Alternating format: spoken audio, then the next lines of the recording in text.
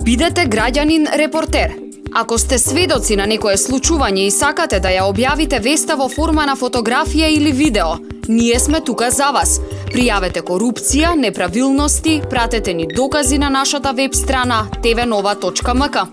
Објавените материјали ќе бидат наградени и тоа 20 евра во денарска противредност за фотографија и 50 евра во денарска противредност за видеоматеријал. Телевизија Нова во служба на граѓаните.